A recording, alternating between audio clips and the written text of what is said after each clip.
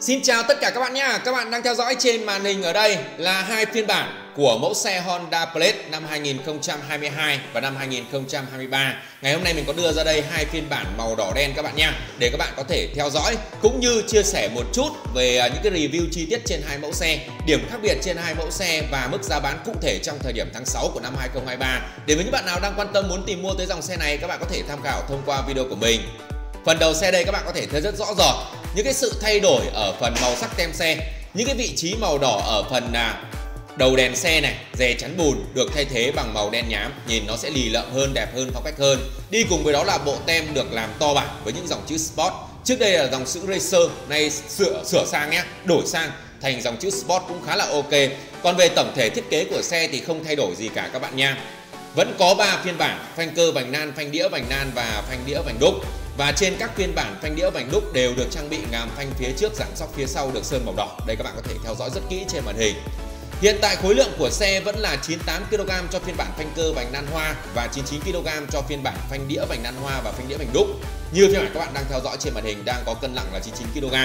Đi cùng với đó, độ cao yên xe ở mức là 769 mm và khoảng sáng gầm xe khá là cao, lên tới là 141 mm.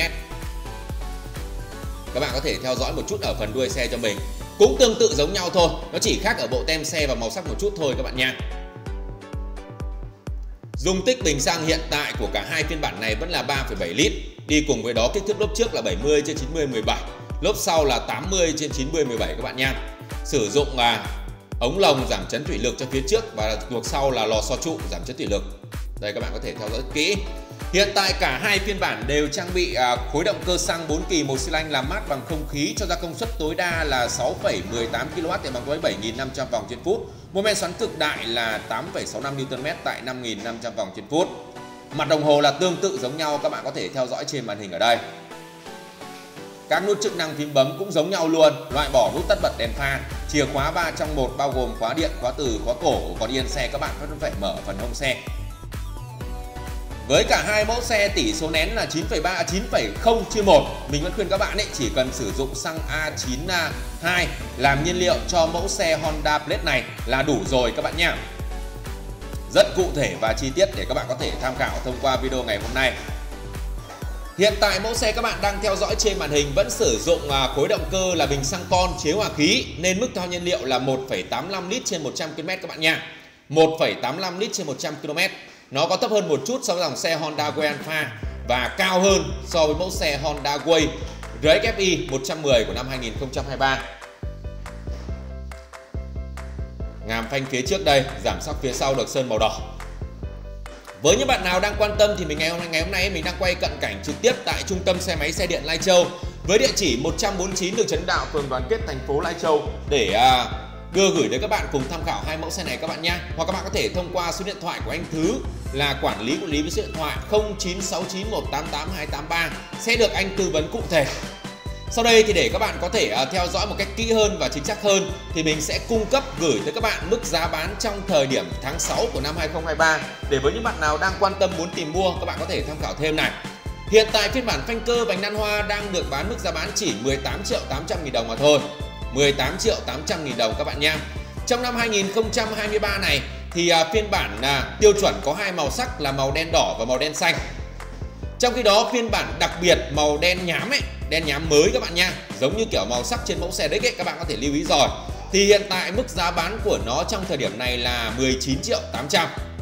19 triệu 800 các bạn nha.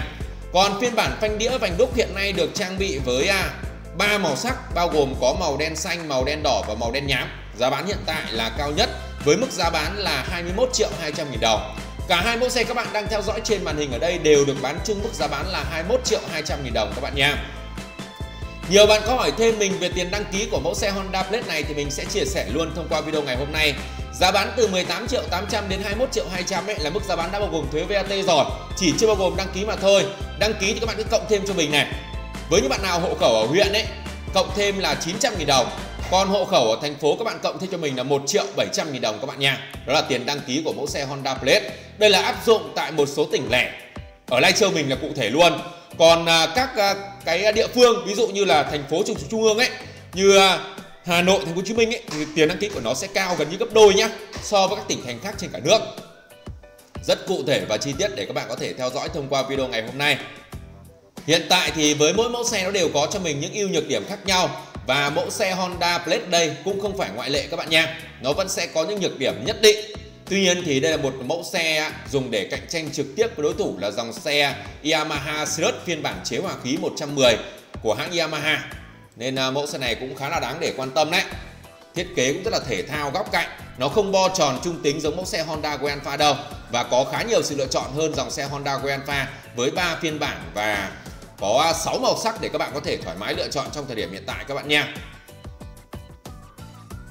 Quá là ok rồi đó là toàn bộ nội dung thông tin ngày hôm nay. Mình muốn review cận cảnh so sánh đôi chút giữa hai phiên bản Honda Blade năm 2022 và Honda Blade năm 2023 để gửi đến bạn cùng tham khảo thông qua video này cũng như cung cấp mức giá bán ấy, mới nhất trong thời điểm tháng 6 của năm 2023. Rồi, cảm ơn ra này của mình. Nếu hay các bạn nhớ like này, chia sẻ, đăng ký nhiều hơn nữa Để ủng hộ kênh à, Giá số các bạn nha. Xin chào và hẹn gặp bạn ở những video tiếp theo.